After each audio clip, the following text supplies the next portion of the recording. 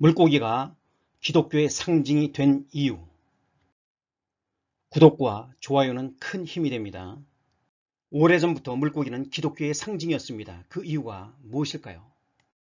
요한복음 6장의 오병이어 기적이나 요한복음 21장의 물고기 153마리 기적 때문일까요? 그렇지 않습니다.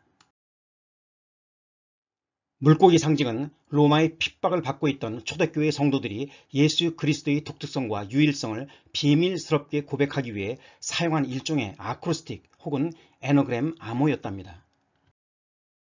물고기에 담긴 상징성을 간략히 설명하자면 다음과 같습니다. 초대교회 성도들은 주는 그리스도시요 살아계신 하나님의 아들이라는 고백을 중심으로 모여 구원자 예수님을 예배했습니다. 그래서 예수 그리스도 하나님의 아들 구원자는 그들에게 꼭 필요한 신앙 고백의 표현들이었지요.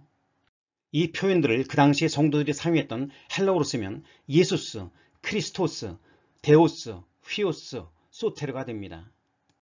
자세히 보시면 다섯 개의 단어들이 보이죠. 각각의 단어들에서 첫 번째 알파벳을 따로 띄워보겠습니다. Ἰησοῦς, 예수, Χριστός, 그리스도, Θεός 하나님, 휘오스 아들, 소테르 구원자 이번에는 단어와 분리된 다섯 개의 알파벳들을 순서대로 모아보면 익투스 바로 익투스가 됩니다. 익투스가 무슨 뜻일까요? 바로 물고기입니다. 예수 그리스도 하나님의 아들 구원자가 물고기에 압축되어 들어간 셈이지요. 초대교회 성도들은 위에 설명된 순서들을 역으로 사유하여 물고기를 예수님의 독특성과 특별성을 의미하는 암호처럼 사용한 것입니다. 초대교회 성도들은 로마의 핍박 아래서 다음과 같은 방법으로 물고기 상징을 사용했습니다. 한 그리스도인이 길을 가다가 처음 보는 사람을 만났습니다. 그리스도인은 물고기의 반을 의미하는 반호를 그립니다. 반호를 받은 상대방이 그리스도인이 아니라면 그 뜻을 이해할 수 없어 그냥 지나칩니다. 그러나 그리스도인이라면 반대 방향으로 반호를 그림으로 물고기의 온전한 모양을 완성시킵니다. 그렇게 예수 그리스도 하나님의 아들 구원자라는 고백이 완성되지요. 얼마나 기뻤을까요? 서로 그리스도인이라는 사실을 확인한 성도들은 길에서 부둥켜 안고 서로 다독이며 필요한 것을 나눴습니다. 그리고 이 땅에서 다시 못 보면 하늘에서 다시 보자는 말로 서로를 격려하며 헤어졌지요. 그들은 이런 방식으로 물고기 상징을 사용하며 서로를 위로했던 것입니다. 그때로부터 천년과 수백 년이 지난 오늘 여전히 익투스가 적혀있는 물고기 상징을 쉽게 볼 수 있습니다.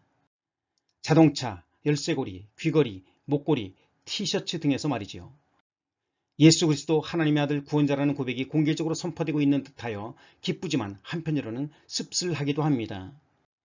거룩한 고백을 담고 있는 물고기 상징이 일개의 장식품으로 전락된 듯 느껴지기 때문입니다.